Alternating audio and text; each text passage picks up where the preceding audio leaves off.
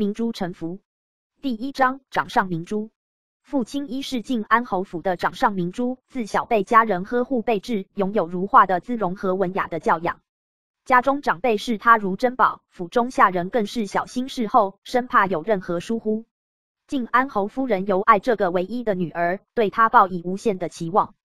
当父亲一年满十六时，宫里传来消息，傅夫人的妹妹已是皇宫玉贵妃，亲自为他指婚，只给玉贵妃的养子七皇子楚临安。父亲一并未见过这位养子七皇子，但听闻他素来稳重内敛，长相俊美，才华横溢，宫内外众多女子都暗自倾慕于他。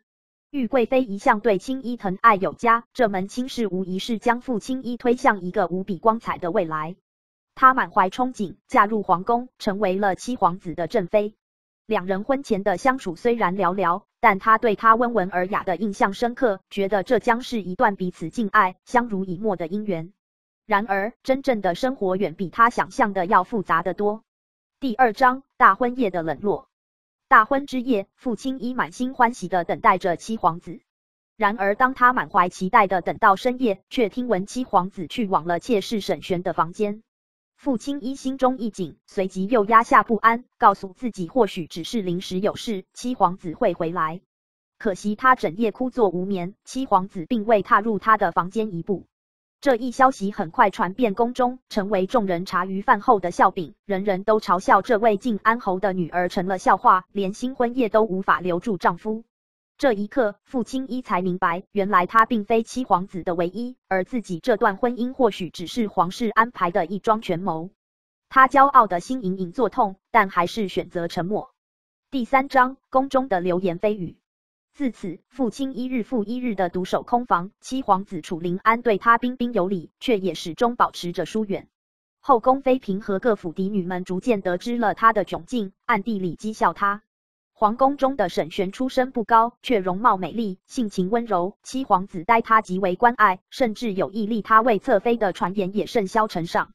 在这压抑的环境中，傅青衣一边在婆婆玉贵妃面前保持娴熟的姿态，一边忍受着众人嘲讽的目光。她原以为能在婚姻中找到幸福，却变成了宫中人情冷暖的见证者。玉贵妃对此并不以为意，反倒提醒她要稳住嫡妃的位置，从而保持侯府和皇宫的联系。然而，这一切冷漠的处境，让傅青衣内心开始发生微妙的变化。他渐渐明白，这座宫墙深深，所有的温情与相敬如宾，原来都是一种奢望。第四章，骄傲的反击。傅青衣的心慢慢冷却，他不再对七皇子的关注抱有期盼，开始将心思投入到其他事情上。他表面依旧端庄大方，却不再在七皇子面前小心讨好。他开始频繁往来于宫中各处，认识了太后、贤妃等宫中要员，逐渐与众位夫人们建立起良好的关系。一次宴会上，众人又拐弯抹角的嘲讽起他的尴尬处境。父亲一面不改色的说：“皇子选择在哪里留宿是他的事，身为嫡妃，我自有家世荣光。”这一番话顿时让众人无言以对。自此之后，这些流言蜚语开始逐渐减少，大家再不敢轻易招惹他。他不再为了七皇子的宠爱而委屈自己，反倒在宫中闪闪发光。她的美貌与气质，加上敏锐的智慧，让她成为一众夫人们争相结交的对象。太后对她越发赏识，时常召她进宫陪伴。这些举动都落在七皇子的眼中。楚临安渐渐开始注意到这位冷静自持的嫡妃。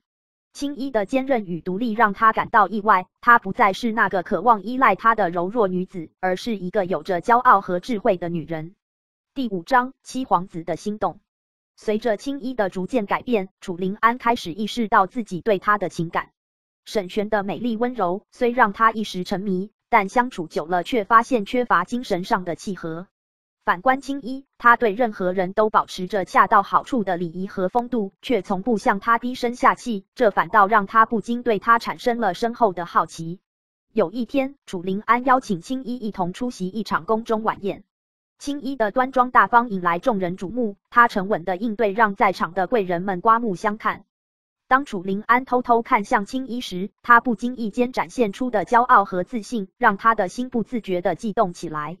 青衣对他依然不冷不热，无论他如何试图靠近，他都不再露出期待与依赖的神色。楚灵安的心中逐渐感到空虚，他开始怀疑自己最初的决定是否正确。为何在他逐渐远离时，心中反而生出一丝不舍？第六章，两人的对话。某日深夜，楚灵安终于鼓起勇气敲响了傅青衣的房门。他从未想过，这个曾经自己苦等的人会主动来寻他。青衣，这些日子以来，我……他显得有些踌躇，似乎在斟酌如何表达自己的歉意与懊悔。傅青衣淡淡的看着他，静静的说：“王爷若是有话，不妨直接说。”楚灵安望着他的冷静，深吸一口气，低声道：“我知道我对你有所亏欠，我不该。”青衣只是微微一笑，打断了他的话：“王爷的心意，妾身早已明白。”如今我只求能安分守己，无意再奢求其他。楚灵安心头一震，突然发现自己不知何时竟然在乎起他的感受来。青衣的目光不再带着爱慕与依赖，这让他无比失落，却又无法责怪他。第七章重拾荣光。随着傅青衣在宫中的日子越发增长，他的生活与心境也在悄然改变。之前那段孤独的日子似乎已经远去，取而代之的是他对未来的渴望与希望。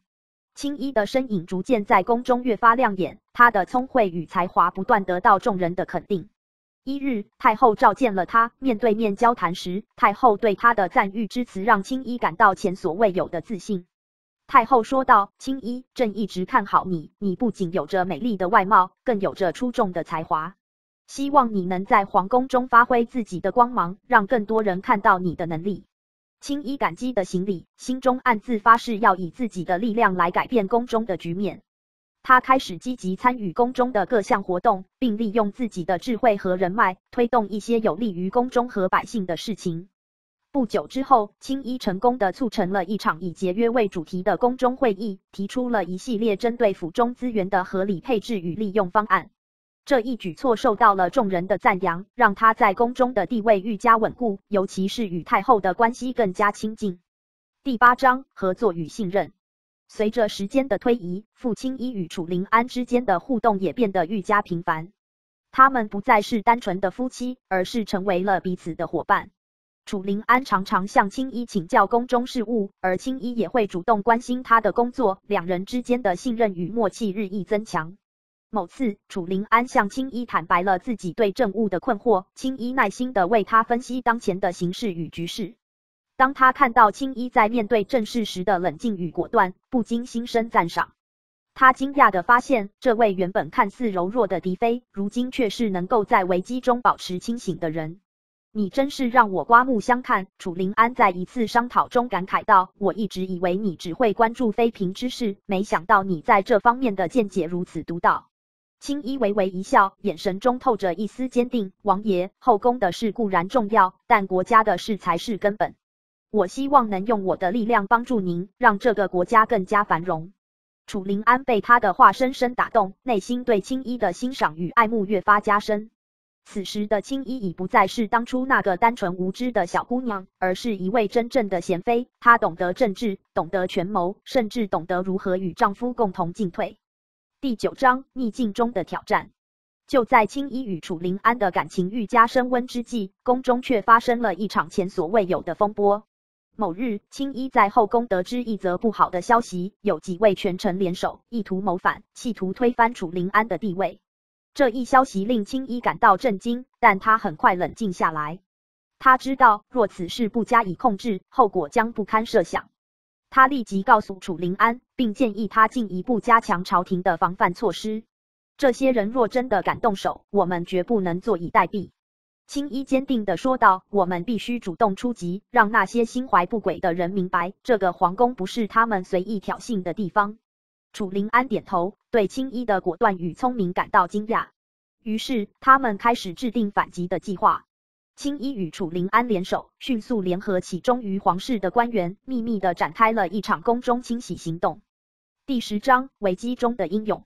随着调查的深入，青衣与楚灵安发现了这场阴谋的主谋正是几位声势浩大的权臣。这些人原本在朝中威望颇高，但在青衣的巧妙布局下，他们的秘密活动渐渐被揭开。在一次重要的朝会上，楚灵安将这些权臣的罪行当面指责出来，让全场震惊。权臣们虽一开始不屑一顾，但随着证据的逐步浮现，他们无法再隐藏自己的真实意图。当场面愈加紧张，青衣决定站出来为楚灵安辩护。王爷一心为国，若有权臣妄图谋反，必须严加惩治，否则将来的后果将不堪设想。